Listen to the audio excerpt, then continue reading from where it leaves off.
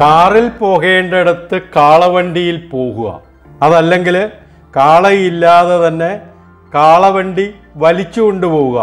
ചുരുക്കത്തിൽ എനർജി ലാഭിച്ച് ലാഭിച്ച് ഇതൊക്കെയാണ് ഇപ്പോൾ കെ എസ് സി ബിയുടെ പരിപാടികൾ ഏറ്റവും ലേറ്റസ്റ്റ് ആയിട്ട് പുതിയൊരു technology K S C B പരീക്ഷിച്ചു. അത് സംബന്ധിച്ചാണ് ഇന്നത്തെ വീഡിയോ.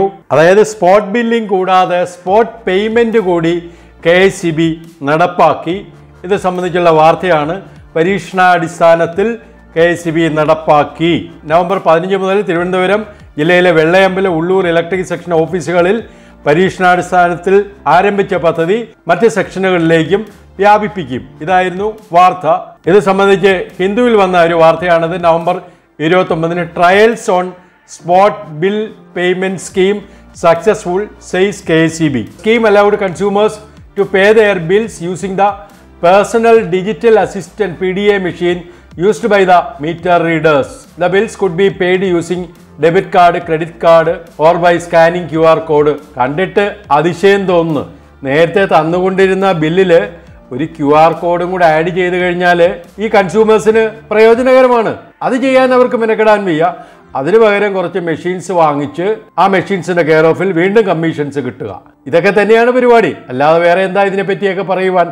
നമുക്കിതിന്റെ പിന്നാമ്പുറം പരിശോധിച്ചു കഴിഞ്ഞാൽ രണ്ടായിരത്തി പതിനഞ്ചിൽ വന്ന ടൈംസ് ഓഫ് ഇന്ത്യയിൽ വന്ന ഒരു വാർത്തയാണിത്. അപ്പം ഇത് പ്രകാരം D H B V N ഇങ്ങനെ ഒരു ലൈസൻസി അത് നടപ്പാക്കിയ കാര്യമാണിത് പറയുന്നത്.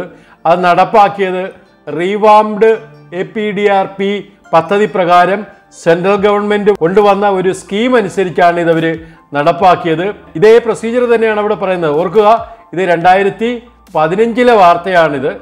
അപ്പോൾ എന്നിട്ട് അവിടെ team of thirty officials will be appointed next month to collect payment അപ്പോൾ കണ്ടില്ലേ? ഇത് പേയ്മെന്റ് ഓൺ സൈറ്റിൽ തന്നെ ചെന്ന് വാങ്ങിക്കുന്ന ഒരു പരിപാടിയാണ്. സ്പോട്ടിൽ വെച്ച് തന്നെ ബില്ല് കൊടുക്കുന്നു പേയ്മെന്റും കളക്ട് ചെയ്യുന്നു. ഇനി നമ്മൾ ചാറ്റ് ജി പി ടിയിൽ ഇതിനെപ്പറ്റി ഒന്ന് പരിശോധിക്കാം. ഞാൻ ചോദിക്കുന്ന ചോദ്യം when electricity spot billing and spot payment started in India ഇവിടെ പറയുന്നുണ്ടത് എന്ന് തുടങ്ങിയതാണെന്നും കാര്യങ്ങളൊക്കെ ഇവിടെ പറയുന്നുണ്ട്. Restructured A P D R P പദ്ധതി പ്രകാരം രണ്ടായിരത്തി അഞ്ച് മുതലാണ് ഇത് വന്നത്. രണ്ടായിരത്തി പത്തുകളിൽ ബാംഗ്ലൂർ തമിഴ്നാട് മുതലായ സംസ്ഥാനങ്ങളിലുള്ള ലൈസൻസുകൾ ഇത് ഇംപ്ലിമെന്റ് ചെയ്തു. ഇതെല്ലാം ഇവിടെ പറയുന്നുണ്ട്. ഇങ്ങനെ ഔട്ട്ഡേറ്റഡ് ആയിട്ടുള്ള ഒരു ടെക്നോളജി കൊണ്ടുവന്ന് കേരളത്തിലെ ജനങ്ങളെ ശരിക്കും പറ്റിക്കുകയല്ലേ എന്നൊരു സംശയമുണ്ട്. ഇവിടെ ശരിക്കും നടപ്പാക്കേണ്ട പദ്ധതികളൊന്നും നടപ്പാക്കാൻ സമയമില്ല. പുതിയ സ്മാർട്ട് മീറ്റർ പദ്ധതി വന്നു. അത് അവർ ഇംപ്ലിമെന്റ് ചെയ്യാൻ തയ്യാറല്ല. ആദ്യം ടോട്ടക്സിൽ നടപ്പാക്കാൻ തീരുമാനിച്ചു. അത് യൂണിയൻകാർ വലിച്ചെറിഞ്ഞു. ഇപ്പോൾ അവർ ക്യാപെക്സിലാണ് ഇനി അതിന്റെ ഫണ്ടിനെ പറ്റി സി എം ഡി ആലോചിച്ചുകൊണ്ടിരിക്കുന്നു ഫണ്ട് ഇതിനു വേണ്ടിയല്ല വേറെ പദ്ധതികൾ. സ്മാർട്ട് മീറ്റർ പദ്ധതി എന്ന് പറയുന്ന അവരുടെ മനസ്സിൽ പോലും തോന്നിയിട്ടുള്ള ഒരു സംഭവമല്ല. ഇപ്പോൾ സ്ക്രീനിൽ കാണുന്ന രണ്ടായിരത്തി ഇരുപത്തി ഒന്നിൽ വന്ന സെൻട്രൽ ഗവൺമെന്റിന്റെ ഒരു നോട്ടിഫിക്കേഷനാണ് മീറ്റർ സംബന്ധിച്ചുള്ള റെഗുലേഷന്റെ അമെൻമെന്റ് ആണ്. അഗ്രികൾച്ചറൽ കണക്ഷൻ ഒഴിച്ച് ബാക്കി എല്ലാ കൺസ്യൂമേഴ്സിനും പ്രീപേയ്മെന്റ് മോഡിലുള്ള സ്മാർട്ട് മീറ്റർ പദ്ധതി വിത്ത് കമ്മ്യൂണിക്കേഷൻ നെറ്റ്വർക്ക്. ഇത് നടപ്പാക്കണം. ഇതിനൊരു സ്റ്റാൻഡേർഡ് ഉണ്ട് ഇന്ത്യൻ സ്റ്റാൻഡേർഡ് ഉണ്ട് അത് പ്രകാരം നടപ്പാക്കണമെന്ന് പറയുന്നുണ്ട്. പിന്നെ ഇവിടെ ഓരോ ടൈം ലിമിറ്റുകൾ പറയുന്നുണ്ട്. ഈ ടൈം ലിമിറ്റൊക്കെ ഇപ്പോൾ കെ എസ് ബി ആലോചിച്ച് തുടങ്ങുന്നതേ ഉള്ളൂ. ഗവൺമെന്റ് ഓഫീസുകൾ സ്ഥാപിക്കുക ഫീഡർ വൈസ് മീറ്ററുകൾ സ്ഥാപിക്കുക. ഇതൊക്കെ ഇപ്പോൾ ഇവർ ആലോചിച്ച് തുടങ്ങുന്നു. പിന്നെ ഇവിടെ പറയുന്ന മറ്റൊരു കാര്യം ഈ പദ്ധതി ഈ ടൈം ലിമിറ്റ് ഡിസംബർ ഇരുപത്തിമൂന്ന് വെച്ച് കംപ്ലീറ്റ് ചെയ്യാൻ പറ്റുന്നില്ലെങ്കിൽ അപ്രോപ്രിയേറ്റ് അതായത് സ്റ്റേറ്റ് റെഗുലേറ്ററി കമ്മീഷൻ അതിന് തക്കതായ കാരണങ്ങൾ കാണിച്ചുകൊണ്ട് ആ ടൈം എക്സ്റ്റെൻഡ് ചെയ്യുന്നതിനെ പറ്റി not more than six months അത് എടുത്തു പറയുന്നുണ്ട്. ആറ് മാസത്തിൽ കൂടുതൽ കാലതാമസം വരരുതേ. അത് അത് തക്കതായ കാരണം കാണിച്ചുകൊണ്ട് റെഗുലേറ്ററി കമ്മീഷന് അത് തീരുമാനിക്കാം. പക്ഷെ ആ ഡേറ്റും കഴിഞ്ഞു. മാത്രമല്ല റെഗുലേറ്ററി കമ്മീഷന് തന്നെ ഇതിനെപ്പറ്റി ഒരു വ്യക്തതയില്ല. കഴിഞ്ഞ ഹിയറിങ്ങിൽ നമ്മൾ കണ്ടതാണ്.